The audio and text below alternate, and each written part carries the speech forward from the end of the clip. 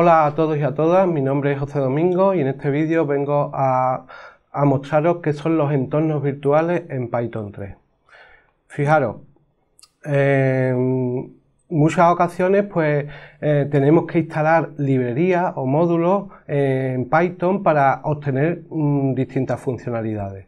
Pues bien, tenemos un índice de paquetes de Python que se llama pipi, que es el repositorio de paquetes oficiales Mm, de Python que podemos bajarnos e instalarlo en nuestro sistema para, utilizarlo.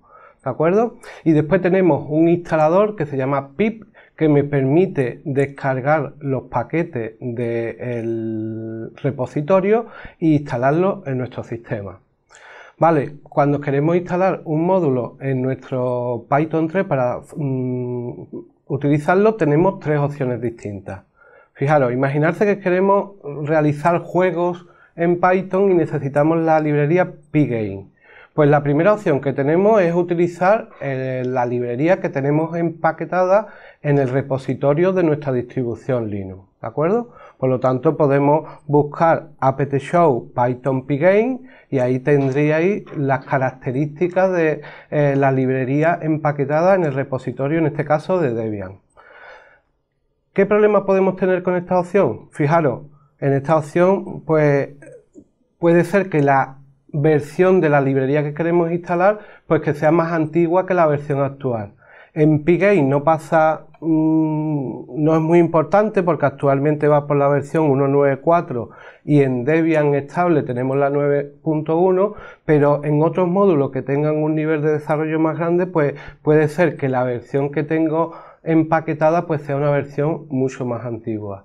Y por otro lado, en este ejemplo de Pgame, por ejemplo, pues tenemos solamente la versión para Python 2. Si necesitáramos la versión para Python 3, pues no la tendríamos empaquetada en nuestra distribución de, de Debian. ¿Vale? Por lo tanto, esta primera opción puede ser válida en algunas ocasiones, pero no es la recomendable.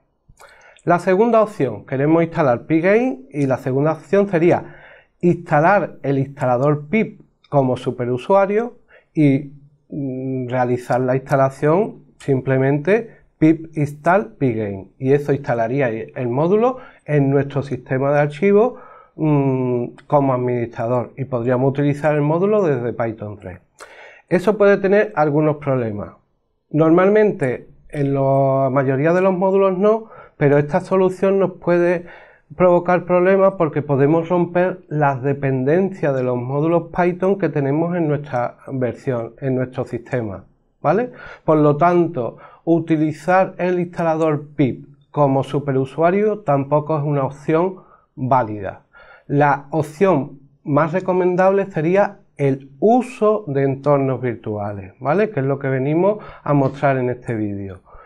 Es un mecanismo que me permite gestionar los paquetes, instalar paquetes Python, pero en un entorno aislado, sin ser superusuario, en un directorio. Cuando mm, activo un entorno virtual, en ese directorio puedo instalar cualquier versión de cualquier mm, paquete de Python, utilizarla y una vez que la he utilizado en mi programa, desactivo el entorno y ya no tengo a mi disposición esos paquetes. Por lo tanto, es un espacio aislado donde podemos instalar distintas versiones de paquetes o las últimas versiones de los paquetes para trabajar con ellas. Es la opción más recomendada para el uso de librerías Python en nuestro sistema. ¿Vale? Fijaros, vamos a utilizar para, ahora veremos un ejemplo, pero vamos a utilizar el módulo VN que me permite crear un entorno de desarrollo. En este caso voy a crear un entorno que se llama PGameM. Lo activo con bin activate, ¿vale? Cuando lo activo, ahora veremos que en el prompt nos pone el nombre del entorno y todas las instalaciones que hagamos en ese entorno pues serán locales y no afectarán al sistema de archivos o a las versiones de paquetes Python que tengo en mi sistema. A continuación vamos a ver cómo trabajamos con entornos virtuales con un ejemplo. Fijaros, lo primero que tengo que hacer es como administrador instalar el paquete Python 3 VN, que yo ya lo tengo instalado, ¿de acuerdo? Y ahora vamos a crear un entorno de desarrollo. Pues sería Python 3 la opción menos "-m" para ejecutar el módulo, en este caso el módulo vn, y ahora pongo el nombre del entorno que vamos a crear. Por ejemplo, pregame en, ¿de acuerdo? En unos segundos pues se va a crear el entorno virtual, lo que realmente se ha creado es un directorio, ¿vale? Un directorio con la estructura del sistema de archivos del cómo Python guarda eh, los módulos que se han instalado.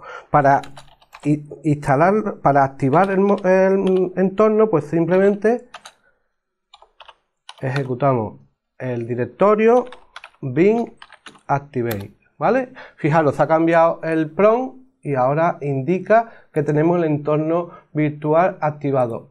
En este momento, mm, digamos que no puedo utilizar ningún módulo de Python que tengo en mi sistema y digamos que tenemos un entorno local, un entorno aislado donde con la instrucción pip pues yo puedo instalar los dependencias, los módulos que necesite. En este caso vamos a instalar Pygame porque vamos a desarrollar juegos con Python, lo descarga, lo activa ¿De acuerdo? Y ya lo tendríamos. Si vemos la lista de paquetes que tenemos instalados, pues fijaros que tengo el Pygame en la última versión 1.9.4. En el momento, yo ahora mismo podría empezar a desarrollar mi programa, podría utilizar el módulo Pygame sin ningún problema. En el momento que terminemos, pues puedo desactivar el entorno virtual con desactivar bait, ¿de acuerdo? No. Sería activate